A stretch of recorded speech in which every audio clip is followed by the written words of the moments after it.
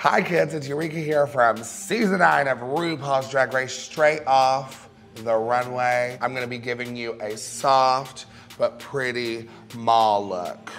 I will be going from this to this. So you all probably remember this look from one of our challenges. It's a look that a lot of people didn't expect to see me do because they're so used to me painting so heavy and so big that they loved it and they were very surprised. So I'm gonna show you all how I go from painted back to painted halfway. okay, I'm always painted back. Now we're gonna start with a little foundation. I don't like to do all the blending of foundations, I just wanna get like literally a blank canvas and then we go from there. I like to use a really greasy foundation. I have really dry skin, so I always moisturize pretty good. And then I do a uh, an easier spread foundation because it's easier to spread on my face. Plus I have a big ass face. So if I use too thick of a foundation, it takes me forever to blend it in. And I just like to pat out, especially around my mouth, Make sure I press that foundation in under my eyes. Then I'm gonna take my big old powder poof because you really want to make sure you press that powder into that greasy foundation or else you're gonna still be greasy. So moving on, I'm going to start next on my contour. I like to start with my contour being like a dark burgundy brown just to get like the outer edging and then blend up from there. Um, I've got my nice angled, not so big and fluffy brush first, and I'll kind of dip. And then I take any kind of thing that has like a straight line. So I line it, boom, boom. And that's really the way the face works. So it works just about on anybody. And then I take a fluffier brush to kind of blend that darker in the cheek here. And I go ahead and do my forehead contour. Now I've got these parking lots, girl, so I like to really get those covered up. I'm gonna take my contour and I start behind the ear and I bring it right underneath my jawbone. Look at that. And then on stage, it looks like I have a neck. And then I come back to my fluffy brush, which a nice big fluffy brush helps us blend. And this is to help like not make that line look so dramatic. So at first look, it's not like, oh my God, why is there like a random brown strip? Does the bitch have a beard? No, because I'm blending this contour down into my neck. So it all looks like a part of the illusion. From this point, I like to move to some blending browns. So you can use any kind of glow kit, which is what I like to use for this specific face.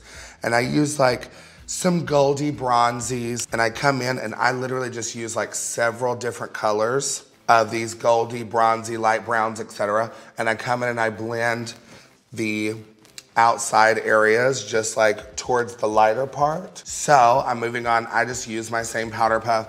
Girl, y'all know I am country as a biscuit and I'm cheap. I like hair and costumes. So I'm always trying to figure out how to cut budgeting. But I use the same uh, powder that I set my foundation with to begin with. I don't, because um, I use a little bit of highlight later, I don't use like different powders. Like I said, I'm a cheap hoe, so I work with what I can, and I like to just keep it at the basics. I'm gonna come back to my contour base because I need to do a little nose contour. So I like to use a fan brush. Um, you can get it just about anywhere. I've literally used uh, painting fan brushes before girl, do what you gotta do, make it work. So I come in at the bridge of my nose and I line it up to where the beginning of my eyebrows would be. And I'm dipping into that dark brown again, but I'm barely brushing because I don't want it to be too crazy dark. I also take my Vim brush and I kind of curve right here and it helps look button nose. I need to highlight my nose a little bit. So I like to use um, a shimmery color for this look that I'm going for because I wanna be very soft and pretty and do like a little extra feminine touch. So I'm gonna come in and I'm gonna put highlight in my nose here and it's just a really bright, but trust me, in the end result, it's lovely. And then now I'm gonna move into my eyes. I need to work on um, my white blend and then I do my crease and my eyebrows. I do my eyebrows last in my eye makeup. It's so weird. So I'm taking my white and I like to come into the corner. It really helps uh, open my eye. And then I go ahead and do the whole lid so that I have something to shape around. I do come up here with my white and I do a triangle. Literally, my face is made out of shapes. So I come in after doing my white obtuse triangles, uh, my half a circle, oh God, into some browns. I go back to that, those, um, another kind of blending brown, like it's another glow palette that I use, and it's a little bit of a darker shimmer brown. And I literally just use this because it's easy to like blend black, blend a color. It's something I can go over with pretty easy. Now, and I come in and I start at the corner and I round out my crease. And again, I'm creating shapes. And I like to bring it into my nose contour. Now I'm gonna come into my crease with a darker brown.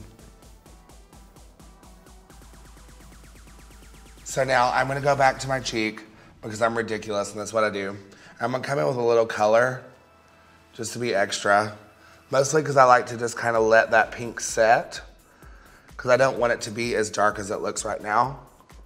I want to go with a little bit of uh, bronzy-ish gold and I'm gonna come right above where I did that crease line and I'm gonna blend some of this gold here. I'm gonna take my white brush and I'm gonna blend in circular motions that little bronzy gold. Then I come back with my fluffy brush. I go back to my golds. I literally go back and forth. So y'all have to keep up, I'm so crazy. And I come over the color pink after I let it set for a minute. You see how it just blends it together? Shut up. I'm gonna redo my powder. I redo it periodically under my eyes so that way if some, the fallout's happening, I don't want it to settle. I don't want it to, I don't know, I get paranoid. So I redo it a lot. So I'm gonna come in and I'm doing Etch a Sketch. That's my life. Etch a Sketch eye makeup. If you notice, it's super black. I'm coming back in under my eye here and I'm just gonna connect that corner. And I like to just come right underneath this corner of my eye. Now, some girls can close their eye off. I can't. My eyeball is so small. I always have that issue with such a big face. If I close my whole eyeball off, I have to wear a really bright contact or something like that so you can even see my eyes. So I come in with my fluffy black brush and I'm just kind of blending that. Now I come in and I like to just blend right underneath my eye too. I don't like really sharp lines in my makeup. So I'm gonna come back to um, my browns in my eye and what I'm gonna do is I'm gonna come back with that goldish color first. I'm gonna blend in some of that gold again. blend it down over my black here. Do you want your darkest part of your eye to be always the outer crease and then blend out to lighter. And it's all about going back and forth over colors to help blend those colors together. I am going to do a little bit of glitter lid.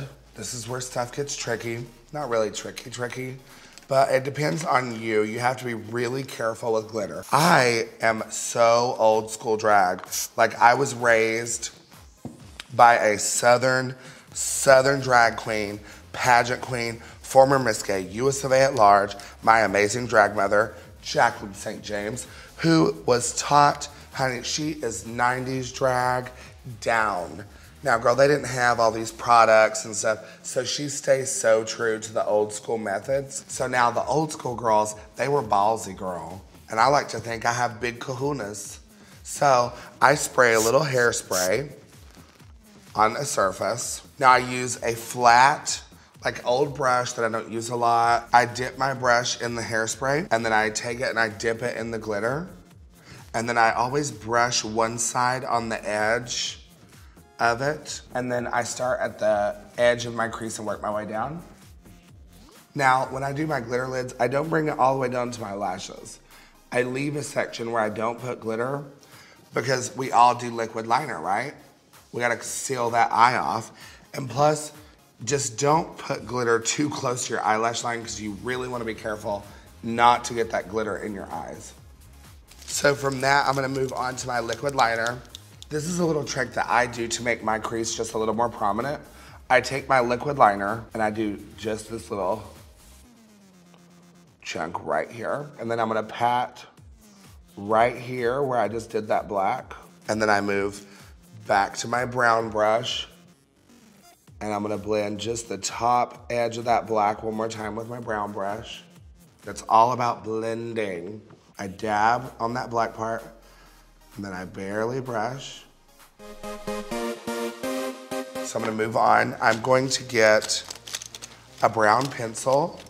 So now, my Etch-a-Sketch eyebrows. Now for me, the best way to line up my eyebrows, beside your eyeball is where your arch should be.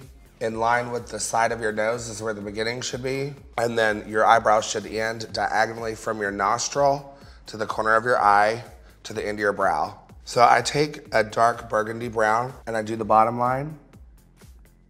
I like to go in with a really small brush and I take a little black and come right here, just that bottom arch line. Now I'm gonna move into blending my eyebrow. I like blended eyebrows. Some people call them ombre brows, but I'm literally about blending everything. And I'm gonna blend a little bit there. And then I'm gonna take a lighter one. I'm gonna blend the beginning here of my eyebrows. And then I'm gonna take a cream and I'm actually gonna blend down from my nose up into that eyebrow. I like the top line of my eyebrow and the bottom line to be kind of prominent, so I'll come back in a little over the top. My eyebrows are done. So I'm gonna move on to my lashes. Are you all ready, the lashes? Like I said earlier, I'm kind of old school, so I'm gonna bring it back to the 90s, and I like to still use the old super wig bonding glue. I take one of my brushes, uh, take the end that's not the brush head, and I dip it in my glue, and I just kind of wipe it on my um, lash here. And the good thing about this, watch. This is my glue. It's black, right? Ew, right? Watch. It's liquid latex. Boom. You just rub it and it comes off. Mind blown. So I place it on my outside corner first, okay? And it's still kind of lifted. And then I just very carefully, a little bit at a time, press it down right along that line. Bitch, why are you all gagging? I bring it to you every tutorial. What I'm gonna do now is I'm gonna put on some mascara and it's gonna help me blend my actual lashes into my falsies. I only do the out edge of my bottom because I like to keep my eye open here. I'm gonna do a lighter lip color for this look because I just wanna go very nudie, natural, like um, Kardashian 2013 circuit matte nude lip with my goldy tones. With a lighter lip, I look a lot less dramatic than if I go with a very hard red lip. It'll make a huge difference. Now that's my liquid lipstick. I'm gonna go in with a gloss. So I'm gonna go with a very natural nude gloss too. Because I did the gold glitter, I like to do just a touch of glitter in my highlight zone for my lip. I'm gonna move on to blending my cheeks one more time and my forehead. I'm gonna do a little bit of highlight on my cheek, right underneath the cheek. So now my mug is fully realized. I'm gonna put on some hair, get my little dress together, let you all see a finished look, and I'm going to go from this to this. Serving you sex vixen, librarian realness, honey. Were you all truly ready? Y'all thought I was gonna come out looking like a big old fat clown man thing, didn't you? Well, guess what, baby? I'm the tits.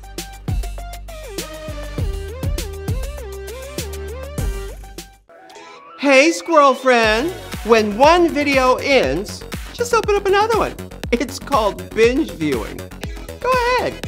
I support you.